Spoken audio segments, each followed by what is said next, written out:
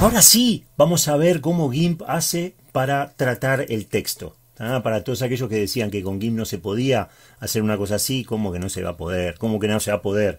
Te invito a que veas el primer video si no lo viste y que lo veas sin adelantarte. Retroceder siempre, adelantar jamás. Está medio parecido al, título de la película de Jean-Claude Van Damme. Está, vos haceme caso a mí.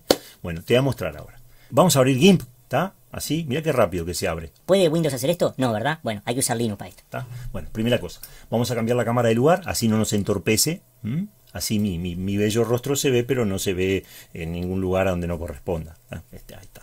Bueno, lo primero que tengo que hacer es, a ver si te acordás, siempre que abras GIMP, archivo nuevo, y acá, en estas opciones que están acá, le das opciones avanzadas y te fijas que acá diga rellenar con transparencia. Es lo único. Es lo único. Nuevo, rellenar con transparencia, aceptar. Ahí tenés una, eh, un fondo transparente para empezar a trabajar. Primero que nada. Bueno, segundo que nada, vamos a hacer que el texto esté en el borde de un círculo, que es lo que casi todo el mundo hace, viste que hacen ese texto que es circular, bueno, te va a enseñar a hacer eso y después te voy a mostrar cómo hacer una especie de sinusoide, como si fuera una llanura por la cual el texto va reposando y todo lo demás, Te voy a mostrar esas dos cosas acá para que vos después que aprendas a hacer esas dos cosas puedas jugar con tu imaginación y crees tus propias ondulaciones para el texto, o alineaciones o formas. Así que en este caso va a ser con un círculo. Vas a esta herramienta de selección, puede estar en selección rectangular, si es así le haces clic derecho y le das herramienta de selección elíptica. Yo le voy a hacer un clic porque ya está puesta en herramienta de selección elíptica, así que listo. Y voy a hacer un círculo más o menos acá en la mitad de, la pantalla, ahí, más o menos ahí. Si querés lo puedes mover un poquito, lo puedes agrandar, achicar como vos quieras. Te aconsejo que no esté ni demasiado abajo, ni demasiado al costado, que, lo, que esté ahí, por ejemplo, en la parte inferior de la pantalla, pero término medio, más o menos por ahí. Y ahí lo primero que vas a hacer es ir acá a seleccionar a ruta. Nuevo trabajo con fondo transparente, luego hacer un círculo y luego seleccionar a ruta. ¿Está bien? Eso es lo primero de todo. Vamos a lo segundo. Ahora es el momento de poner texto en la pantalla, de, escribir texto. Entonces vas a la herramienta de selección de texto o a la herramienta de creación de texto, que es esta A que está acá. Este. Ah, esa es la herramienta. Ah, claro. Ah, Entonces ahora vas acá, abrís un rectangulito arrastrando, eh, haciendo clic y arrastrando. Ya te vas a dar cuenta cuando utilices GIMP. Y ahí pones, aquí va a ir el bello texto aquí va a ir el bello texto. Así que le haces tres clics, 1, 2, 3, ¿viste? 1, 2, 3 para seleccionar todo. Acá le voy a dar otro color solamente para ver mejor yo. Voy a darle acá mm, un negro y aceptar. Y voy a agrandar la letra. Ah, pero no tanto. Voy a agrandarla un poco. A tu gusto lo vas a hacer esto. Vas a ver que esto tiene pisaditas y jugaditas que te vas a ir dando cuenta cuando vayas creando tus propios textos ondulados. Tenés que practicar. No todo va a ser tan perfecto como lo vas a ver acá, pues yo ya esto lo hice 50 mil veces.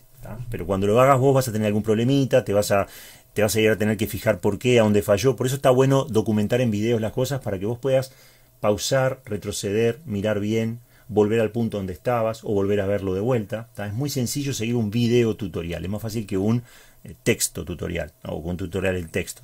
Bueno, muy bien. Ahora voy a seleccionar el tipo de letra. Voy a poner yo que sé la primera letra que se me ocurra, la N.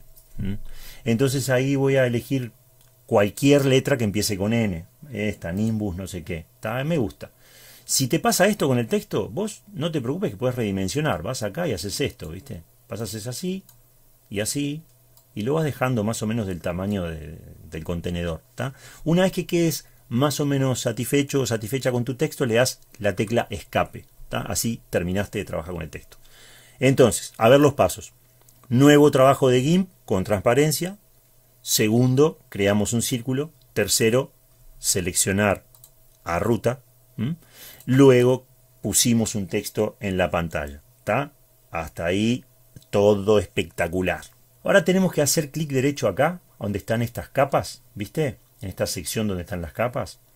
Clic derecho y de todas las opciones que están ahí, vas a seleccionar texto siguiendo una ruta. Texto siguiendo una ruta, que es esto que está acá. Y ahí vas a ver lo que pasa en pantalla. Mira bien.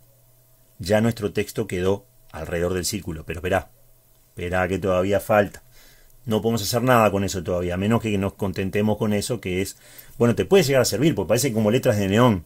Si te sirve eso, genial, pero igual, viste, todavía no, no está el trabajo del todo terminado. Si te sirve, genial, si no, aparte hay que borrar la parte de arriba, ese texto es negro hay que sacarlo de ahí, todo eso. Muy bien, vamos con lo siguiente. Tenemos que ir a la sección rutas. Acá arriba vos tenés tres pestañitas, capas, canales y rutas capas, canales y rutas. Donde trabajamos normalmente es en capas. Generalmente estamos ahí y no nos movemos de ahí, pero en este caso sí vamos a tener que movernos de ahí. Vamos a ir a la pestaña rutas, ¿está bien? Y acá tenemos que darle clic derecho en la capa ruta, en la capa esta, donde está la herramienta del círculo, ahí, y vamos a seleccionar ruta a selección. ¿Está? Ruta a selección. Está acá. Tukis. Ahí vas a notar que el texto se pone como un caminito de hormigas. ¿Ves? Estoy haciendo control más o simplemente el más. ¿Ves que se pone todo así? Como que la máquina atrapa todo ese texto, como que lo selecciona. Falta un poquito más y ya estamos, ya estamos casi, casi ahí. Acá tenemos que hacer una capa nueva porque si queremos pintar las letras por dentro o queremos darle un entramado, alguna forma o algo, nos va a quedar mal. Así que lo que vamos a hacer ahora es crear una capa nueva. Vamos acá, capa, capa nueva, ahí, eh, esto por defecto siempre es transparente, pero fíjate acá abajo que diga rellenar con transparencia por las dudas, por las dudas que justo diga rellenar con blanco, con no sé, color de frente, todo eso no. Rellenar con transparencia le das a aceptar. ¿Está? Y ahora mira qué fácil, mira qué fácil. Yo le voy a dar editar, rellenar con un patrón. Y ahí se llena. ¿Cuál es el patrón? Te lo muestro. Fíjate esto. Vamos al baldecito que está acá, la herramienta de relleno, y acá te muestra el patrón con el cual estás rellenando las letras. Mira, Observa esto, ¿ves? Que es un patrón, no es un color naranja, es como si fuese madera por lado de adentro, ¿no?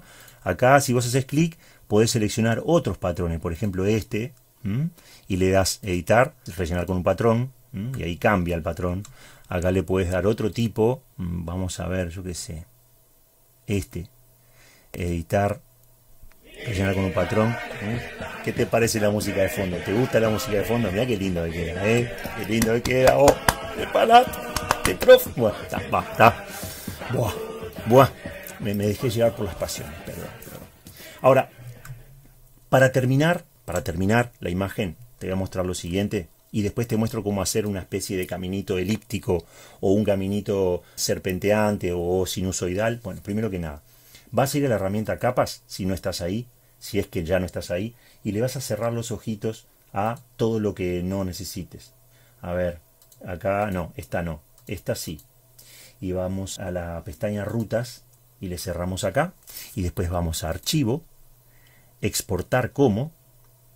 Y le vamos a dar un lugar determinado. Yo lo voy a guardar en imágenes. Y le voy a poner, en vez de sin nombre, le voy a poner mi bello texto. ¿Mm? PNG, exportar. Si te pregunta algo, exportar y ya está. Ahora vamos a cerrar este trabajo le voy a dar descartar cambios, porque ya no me interesa trabajar más con eso. Si a vos te interesa seguir, retomar el trabajo y seguirlo en otro momento, le tenés que dar guardar y después volver a abrir ese mismo trabajo, ¿verdad? Así que voy a abrir la carpetita imágenes, voy a ir acá a las imágenes y voy a ir a mi bello texto. A ver cómo quedó. Mirá qué lindo. Mirá qué bueno que está. ¿eh? Otra vez la, otra vez la canción de fondo. ahí está. Bueno, en GIMP también podés rotar. Yo ya te lo mostré en el video anterior, por eso no quiero hacer tan largo el video este. Ahora vamos a ver cómo hacer otro tipo de caminito. Justamente, yo te recomiendo que veas el anterior si no lo viste, porque ahí mostré un montón de cositas que se pueden hacer con GIMP. Vamos a ir a archivo nuevo. Viste que yo siempre empiezo igual, ¿no? Opciones avanzadas, en vez de color de fondo, transparencia, aceptar. Mira esto. Está la herramienta rutas acá. Crear y editar rutas. Mira, voy a hacer un punto acá y después me paro por acá pero no hago clic. Voy a hacer clic y lo voy a mantener al clic. Lo mantengo y empiezo ahí a tirar para abajo. Para abajo y hacia la derecha. Como para hacer, vos fíjate que ahí yo quiero hacer una especie de curvita. Está ahí arriba, ahí más o menos, ¿no? Ahí, ahí. ¿Está? No te preocupes si no queda impecable porque después lo vas a poder retocar esto. Después de haber hecho eso, voy a hacer un punto acá y me quedo apretando y ahí se me forma la otra parte de la sinusoide. Esto se llama sinusoide, ¿está? Eso lo saben la gente que trabaja en electrónica y, y los, los chiquilines que hacen primer año de, informática conmigo, pues yo se los enseño, se los enseña a Marco Bárcena, que es un gran docente también, se los enseña a Drain Troitiño, que es otro gran docente también, así que hay que aprenderlo, está sinusoide. ¿Cómo se dice? Sinusoide. Muy bien, perfecto, me encantó, me los escuché desde acá, perfecto. Así que listo, lo dejo ahí, ¿sí? Hasta ahí tenemos nuestra, nuestro diseño de forma para el texto. Lo que tengo que hacer acá es saltearme el paso ese donde yo le daba seleccionar a ruta. Y te explico por qué. No va a estar disponible eso. Entonces eso te lo rifás y seguís. Primero era un trabajo nuevo con transparencia, luego era un círculo en la parte anterior, ahora es una sinusoide, luego era eh, seleccionar a ruta, pero eso te lo rifás, te lo salteás, ¿está bien? Y vas a seguir con todos los demás pasos. Lo que voy a hacer es poner texto. Voy a seleccionar texto. Si desaparece la sinusoide, no te preocupes, no pasa nada. Va a volver a aparecer después de a poco. Y aquí iría el nuevo texto con nueva forma. ¿Mm? Voy a poner así. Voy a ajustar la parte del contenedor al contenido. O sea, si esto fuera un tupper, tendría que ocupar el mismo tamaño que la comida. ¿Me explico? Así que lo voy a dejar acá más o menos. Está bien cerradito el tupper. Y le voy a dar escape. Acuérdate que el color no importa, porque el color se lo vas a dar vos al final. Para ver mejor las letras le voy a hacer triple clic para seleccionar todo. Tres clics selecciona todo. Le voy a dar acá y le voy a dar color negro. ¿está? Solo para que se vea bien la letra, nada más. Puedo seleccionar la letra, por ejemplo R, eh, Roboto Heavy, ahí si te pasa esto con el texto, lo que haces es estirarlo nada más. quiere decir que no cabe el texto dentro del contenedor y lo dejas más o menos del mismo tamaño. Escape. ¿Está bien? Bueno, ahora vas a pasarte para la pestaña capas. ¿Ves? Ahí. Y acá, en donde tenés el texto, ahí, ahí, le vas a dar clic derecho, texto siguiendo una ruta, tal como hicimos en el ejemplo anterior. Texto siguiendo una ruta. Ahí. Y ahí te aparece el texto por ahora. Si fuese más largo el texto, seguiría teniendo la forma de la sinusoide. No sé qué pasa si es mucho más largo el texto, eso nunca probé. Siempre trato de hacer un texto un poco más corto o lo voy modificando de a poco, ¿viste? Esto en GIMP está bueno para probar y probar. No te preocupes si no te sale exactamente igual que lo que vos querés o si no te sale perfecto de entrada. No te preocupes por eso, ¿está? Muy bien, vamos a continuar. Ahora vamos a ir a la parte de capas, donde estábamos nosotros, y le vamos a dar clic derecho, ruta a selección. Lo mismo que en el ejemplo anterior. Ruta a selección. Estoy haciendo todo lo mismo, si vos te fijas. Ruta a selección. Ahí quedó igual el texto. ¿Te acordás que quedaba así? Bueno, ahí lo estamos logrando. Ahora voy a crear una nueva capa. Capa, capa nueva. Generalmente esto ya está con transparencia, pero fíjate, siempre donde dice rellenar con, siempre fíjate que diga con transparencia, le das a aceptar. Y ahora va lo mismo de antes. Vamos a ir a editar, rellenar con un patrón. Y ahí quedó. Ahí quedó de vuelta. Qué lindo esto. Gracias, gente. Vamos arriba. Bueno, vamos a poner otro patrón. Otro patrón vamos a seleccionar. Mirá, para seleccionar otro patrón o un color, por ejemplo, vos vas acá a la herramienta de relleno y elegís otro patrón o si no elegís un color y le das color de frente. Por ejemplo, le voy a poner relleno con color de frente y le voy a dar acá doble clic y voy a elegir un color rojo. Ahí, está más o menos un color medio rojito. Ahí, y aceptar. Y ahora le doy editar, rellenar con el color del primer plano. ¿Ves que acá te lo muestra el rojo? Tukiti, ahí está. A ver si hay un patrón para mis amigos bolsilludos. Le voy a dar relleno con patrón. Voy a fijarme a ver si hay rojo, azul y blanco. No, no hay. Bueno, a ver, con azul por lo menos, ahí, con azul. Y una vez que elegí el patrón, voy acá, eh, editar, rellenar con un patrón. Y así, así de fácil, así de fácil es como se trabaja el texto. Después lo que tenés que hacer, acordate, no vayas a exportar la imagen antes de eliminarle lo que no corresponde. Tenés que ir acá a la pestaña capas.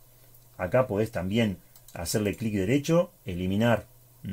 Eliminar la capa, porque no lo precisás el texto. Lo podés ocultar, o sea, cerrarle el ojito o eliminarla directamente.